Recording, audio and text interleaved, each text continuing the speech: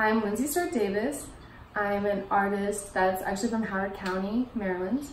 Uh, now I'm based out of Baltimore. I do neon work, a little bit of glass blowing. I'm a painter, drawer, woodworker, sculptor. I really think that I'm an interdisciplinary artist. I kind of really love to have control and power over all different mediums to make my work. I think that's a really powerful aspect.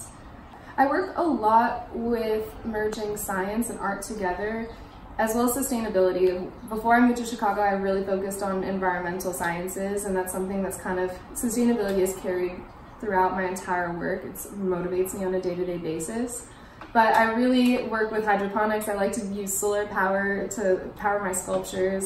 I work a lot with kinetics, so I use a lot of my fish are over here, but I use their water to feed my plants. I make hydroponic sculptures. So right now I'm working on a piece that's going to be hanging in this building that was across the street from my first job ever. I worked at a smoothie stand in Columbia, Maryland at the Columbia Mall. Um, it's a woman-run business. They reached, my mom actually works there. She's one of the co-owners. And my mom always has like her, my art hanging up in her office and she's just kind of fallen, fallen in love with it since the first day she saw it. So she reached out to me to make this mobile structure. She sent me all these different kind of ideas and really gave me like free reign of what I wanted to make. Something that she really wanted was resin and that kind of went behind my entire background. I just spent all this time paying for an education where I was like focusing on sustainability, focusing on the earth, on how important that is, and for her to ask me to make it out of resin just kind of seemed like a huge step back for me.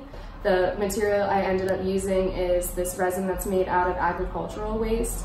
They collect all this manure, and I think they collect the nitrogen from, a, I forget how it's broken down, but the chemical reaction that happens is all sustainable, it's all made out of waste. I feel like this is really going to project me into the world as an artist. I know that when it's hanging up, the Baltimore Journal is going to be kind of doing an interview on the piece.